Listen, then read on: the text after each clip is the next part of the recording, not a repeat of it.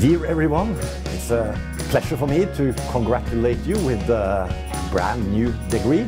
Solid work, well done.